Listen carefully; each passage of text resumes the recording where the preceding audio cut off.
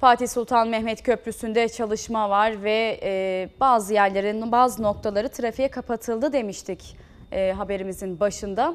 Şimdi bu konuyu konuşacağız. CHP İstanbul Milletvekili Sayın Gülay Yedekçi telefon attığımızda. Sayın Yedekçi hoş geldiniz. Hoş bulduk, merhabalar. Merhaba. E, efendim şimdi İstanbul Edirne yönünde ihlali geçişleri de e, önlenmesi amacıyla geçtiğimiz günlerde bir çalışma başlatılmıştı. Şimdi de iki şeridi kapandı e, Fatih Sultan Mehmet Köprüsü'nün. Vatandaşın çok Evet. fazla tepkisi var bu konuyla ilgili. Trafik kilit, e, trafikte kilit. Şimdi akıllara şu soru geliyor aslında. Neden okullar kapalıyken, insanlar tatildeyken hani olmadı bu? Neden sizce böyle bir zamana e, kaldı? E, dilerseniz bununla başlayalım. Evet, çok teşekkür ediyorum öncelikle. Bütün izleyicilere sevgilerimi, saygılarımı sunuyorum. Bu bir yönetim anlayışıyla e, doğrudan ilişkili. Çünkü insanı öncelleyen bir anlayış olsa dediğiniz gibi İstanbul'un nispeten daha da boş olduğu, öğrencilerin ve ailelerinin tatilde olduğu, İstanbul trafiğinin nispeten rahat olduğu dönemler, yaz tatili dönemlerinde e, bu tür e, çalışmaların yapılması e, gerekirken okulun başladığı, daha insanların araç düzenini, trafiğini kendisi bile e, okuluna göre tam ayarlayamadığı, trafiğin en sıkışık olduğu zamanlarda bunu yapmak insanların biraz daha trafik çilesi çekmesine neden olmakta. Zaten İstanbul'da yaşamak çok zor artık biliyorsunuz. E, otopark şeklinde caddeler, e, hiç ilerleyemediğimiz 2 saat, iki buçuk saat el frenini çekip durduğumuz e, durumlar var. Onun için İstanbul halkının e, daha huzurlu ve keyifli yaşamasının önünde engel olan bu yönetim anlayışının bir an önce son bulması gerekiyor. Trafikle ilgili söyleyeceğimiz konuda bununla doğrudan ilişkili. Şöyle ki e, bu bilimle çözülebilir. Ulaşım bir bilim ve bu e, ancak bu konuyu bilen insanların çözebileceği bir problemdir. E, bu yol yaparak çözülebilecek bir sorun değildir. Bu yeni köprüler yaparak e, çözülebilecek sorun değildir. E, köprülerin su havzalarına ve e, yeşil alanlara yapıldığını bütün e, ekosistemi mahvettiğini de ayrıca söylemek isteriz. Yani köprüyü yaptıkları yerin de yanlış olduğunu ayrıca e, bu vesileyle de söylemek isteriz. Şimdi iki- ikinci köprüde yapılmaya başlanan bu e, tamirat çalışmaları da bu anlayışın insana hürmeti olmayan anlayışın e, bir e, tezahürüdür. Evet. Yani bu uygulama Evet. yanlış gerek yoktu diyorsunuz değil mi? El- elbette tadilata gerek var. Elbette bir e, zorunluluk varsa çalışma yapılmalıdır. Ancak e, bunun zamanlaması yanlıştır. Yani e, vatandaşın güvenlikle ulaşımını sağlaması için köprülerin e, güvenliğinin sağlanması şarttır.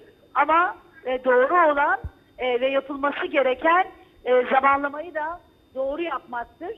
E, burada zamanlama problemi vardır. 3 ay kadar kocaman bir tatil dururken o zaman da e, yapmayıp şimdi hemen tatil biter bitmez yapmanın ne anlama geldiğini anlamış değilim. İnşaatı iyi bilen bir kişi olarak kuru havalarda bunu yapmanın daha iyi olduğu da ortadayken şimdi sonbaharla birlikte yağmurların da başlamasını göz önünde bulundurduğumuzda e, bu çalışmaların sekteye uğraması söz konusu aynı zamanda. Peki yani kaçış yolu olarak ne olabilir sizce? Bu kadar vatandaş e, sorun yaşıyor. Bir de üzerine e, sonbaharın vermiş olduğu işte yağmur e, falan eklendi varsayalım. Trafik o zaman kilit mi olacak? Hiçbir şekilde ilerlemeyecek Şimdi mi? belki şimdi şeytanın avukatlığını yaptığımız zaman yani eğer e, şey olduğunda e, söylememiz gerekirse kötü, kötü niyetli bir bakış açısı olabilir ama belki de insanları hiç kullanmadıkları üçüncü köprüye e, şey yapmak için e, yönlendirmek için ikinci köprüde böyle bir sıkıntı çıkarmış olabilirler. Yani güzergah yanlış. Kimse üçüncü köprüyü kullanmıyor. Boşa ölü bir yatırım. Belki de insanların üçüncü köprüye alışması, üçüncü köprüye yönlendirmek için bilerek yapılmış bir şey de olabilir. Yani hani böyle düşünmek istemiyorum ama e, ya beceriksizlik ya da. Başka bir e, alternatifi yok bunun. Anlıyorum. Peki e, Sayın Yedekçi son olarak da şunu sormak istiyorum. Biliyorsunuz İstanbul Büyükşehir Belediye Başkanı Kadir Topbaş istifa etti.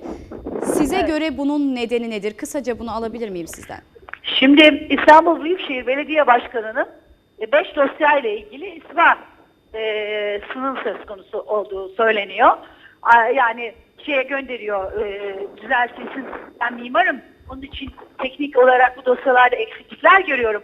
Bunlar düzeltilip yani gönderilsin diyor ama onların hiçbiri düzeltilmeden aynı şekilde iade edilince işte kendisinin istifa ettiği söyleniyor. Ama e, burada şimdiye kadar İstanbul Büyükşehir Belediyesi'nden geçen doğanın talan edildiği, rantın açıkça e, ortada olduğu projelerin neden onaylandığını da sormak lazım. Onlarca, yüzlerce Büyükşehir Belediyesi'nden geçen dosyaların %90'ının üstündekinin imar dosyası olduğu biliniyor. Hatta Sayın Başbakan bu konuda bir açıklama yaptı.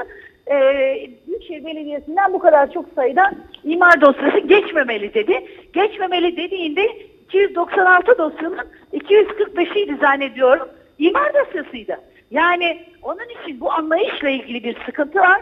E tabii belediye başkanının istifa etmesi inşallah geri kalan bütün e, bu e, düşünceye sahip olan insanların istifa etmesiyle devam eder ve hükümet de inşallah istifa eder ve halkın iktidarı, Cumhuriyet Halk Partisi'nin iktidarı kurulur. Pekala Sayın Yedekçi çok teşekkür ediyoruz. Ama şunu tekrar söylemek Buyurun. isterim. İstanbullu Kadir Topbaşı affetmeyecek. İstanbul'a 1994 yılından beri onlar o zihniyet iktidar ve 1994 yılından beri İstanbul İstanbul olalı böyle zulüm görmedi.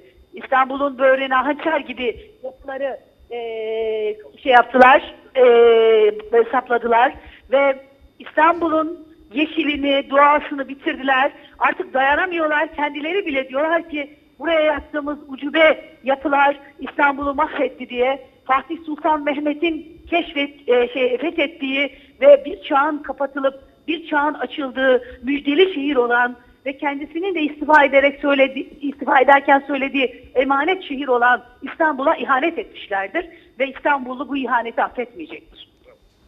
Pekala Sayın Yedekçi çok teşekkür ediyoruz Sevgiler değerlendirmeleriniz Görüşmek için. üzere. Sağ olun. Kolay gelsin. Sağ olun. CHP İstanbul Milletvekili Gülay Yedekçi, Fatih Sultan Mehmet Köprüsü'ndeki çalışmaları ve İstanbul Büyükşehir Belediye Başkanı Kadir Topbaş'ın istifasını değerlendirdi. Devam edelim.